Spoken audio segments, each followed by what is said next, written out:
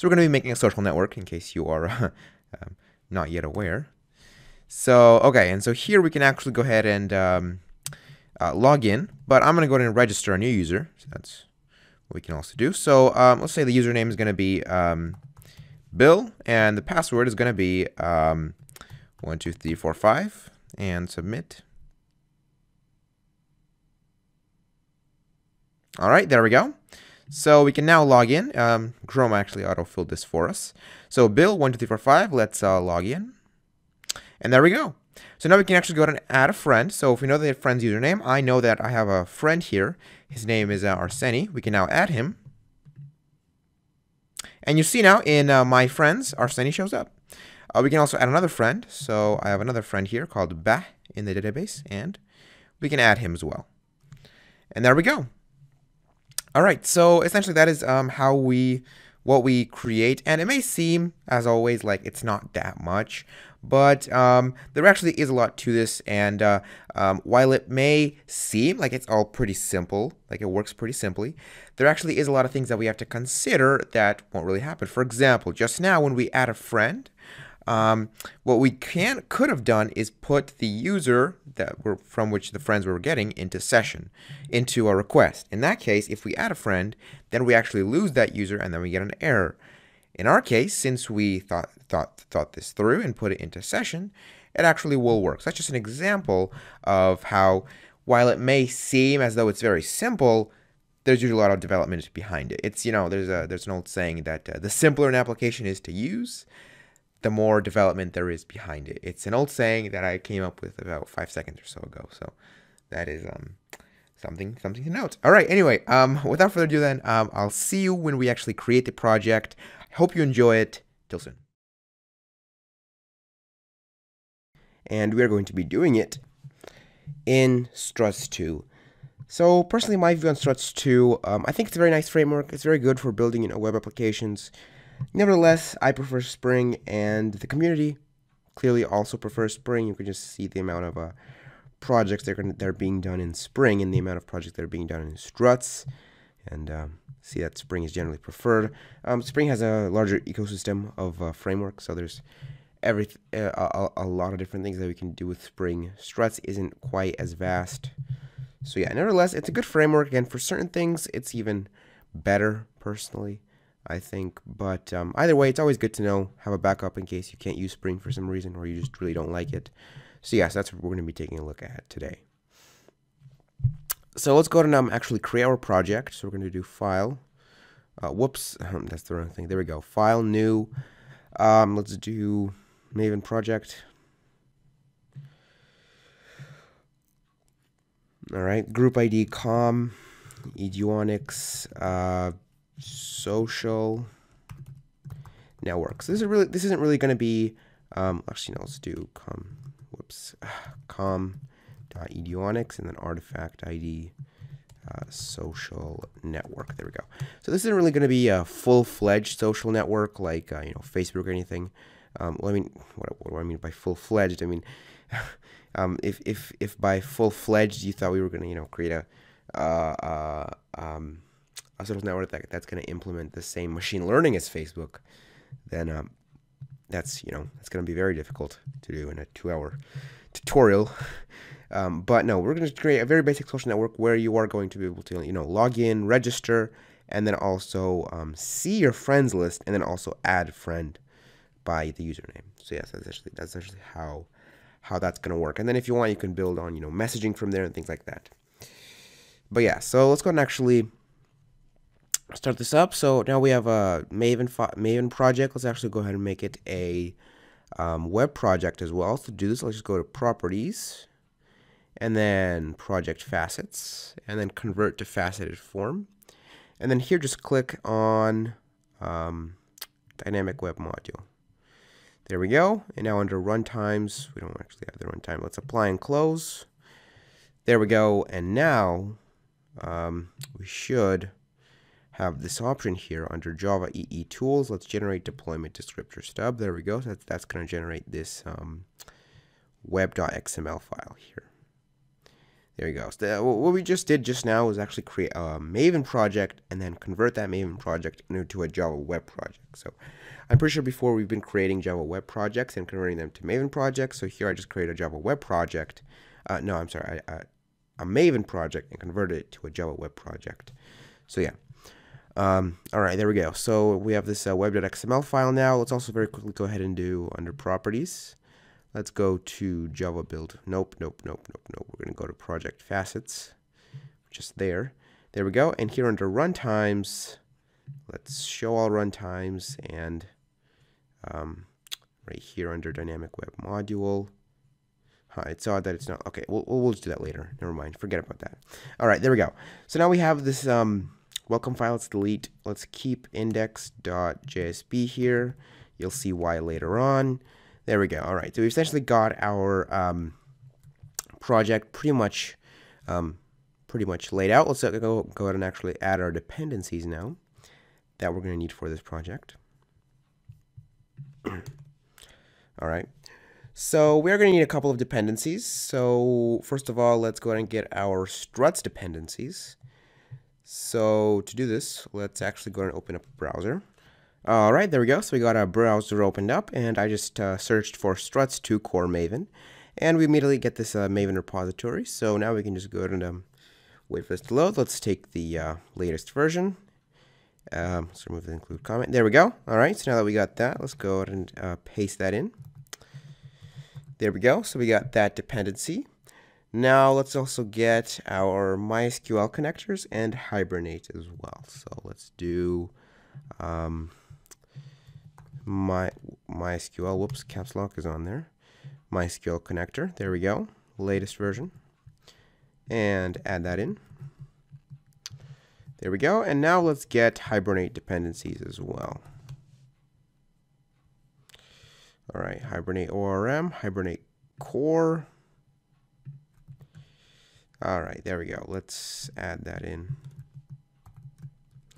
All right, and then also we should get um, Hibernate Entity Manager as well, since it also. Ooh, wait a second. Yep. Let's let's put that in since if if there are any dependencies that we need that are, you know, older, Hibernate Entity Manager will will actually um we'll cover them. All right, there we go. So now that we got that done, um, let's go ahead and actually um, create our configure our web, web.xml file for the struts um, configuration. All right, and uh, to do this, um, all we're going to do is create a filter. There we go. Um, let's name it struts2.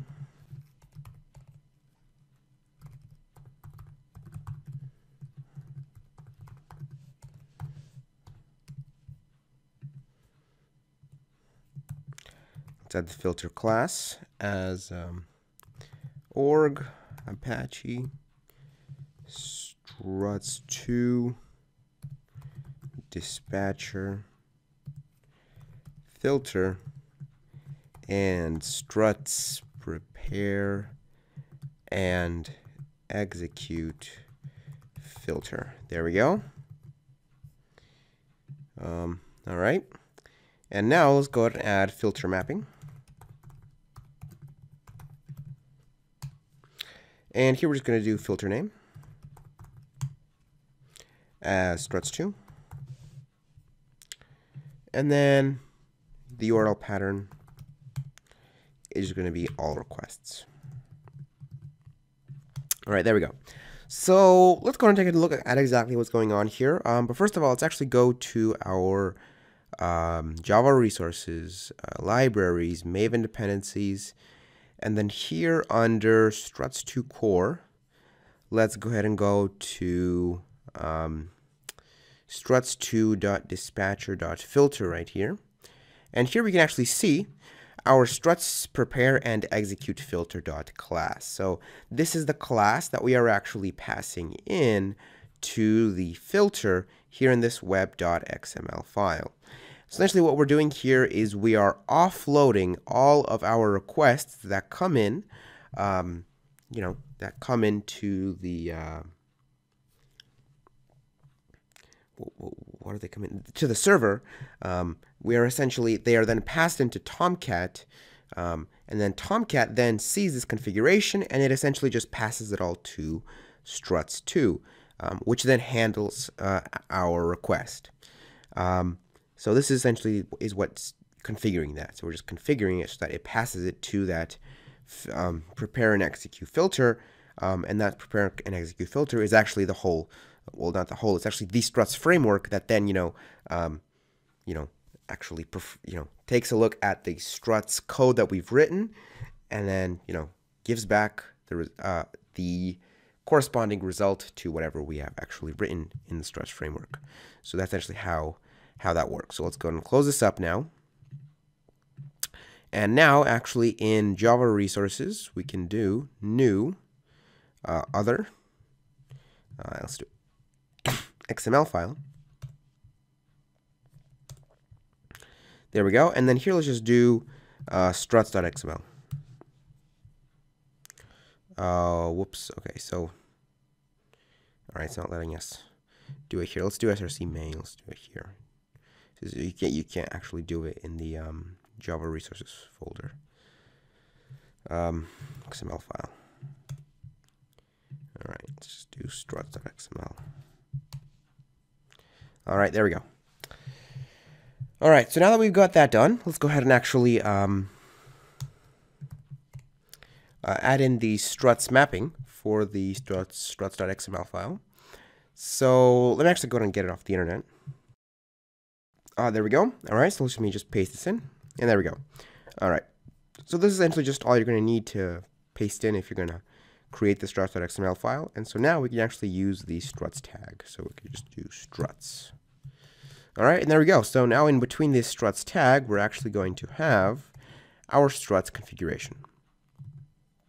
All right, there we go. And uh, we could do annotation configuration in struts, but personally I just find that it's not quite as um, sort of, uh, what could, what is not as it's not quite as uh, advanced as the as Spring annotation configuration. So personally, I prefer um, just XML configuration in struts. Um, but in in in uh, in Spring, definitely uh, annotation configuration is much better. In struts, I prefer XML configuration. But you know, if if you can understand XML configuration, understanding annotation configuration also isn't very difficult. All right, so now that we have our struts file, let's finally add one last file, and this is going to be um, new, same place. Uh, it's going to be another XML file, and this is going to be uh, hibernate dash cfg, hibernate config.xml. All right, there we go. Okay, and now here in this uh, hibernate config config.xml file, we're also going to need a, uh, you know, the map, the mapping for the tags. So let me go and get off that off the internet as well. All right, there we go. Let's paste that in. All right, there we go. And I also, I completely forgot, I actually accidentally put a dash here. We need a, uh, a dot, not a dash here. So there we go. All right, so now that we got that done, we are essentially finished with our project skeleton. So now we can actually go ahead and add uh, all the configuration of that we're actually going to be using. But um, we'll just save that for the, for the next lesson. Right now, let's talk a little bit about how more about how exactly this is going to work. So essentially, this, the way this is going to work is that um, when a user submits a request, it's going to take him to, uh, well, I mean, uh, no, when the user first actually enters the um, enters the application, um, he's going to be prompted to log in. Um, you know, he enters his username and password. Then he's going to log in. That's going to take him to a struts action, which is going to return a view with a list of his friends um, already in, you know, the view, the populated. Uh, and then it's going to be a list of his friends, and on top of that, it's going to be a, uh, a bar where you could, to add a friend, and he's going to go to be able to enter a friend's name, and then it's going to, if it's not already a friend, and if it's, you know, um, uh, not a friend's name, a user's, a username, um, and if it's not already, if he's not already a friend, and if he is, you know, ex he exists in the database, then it'll add him to his friends list. So yeah, essentially that's how that's going to work.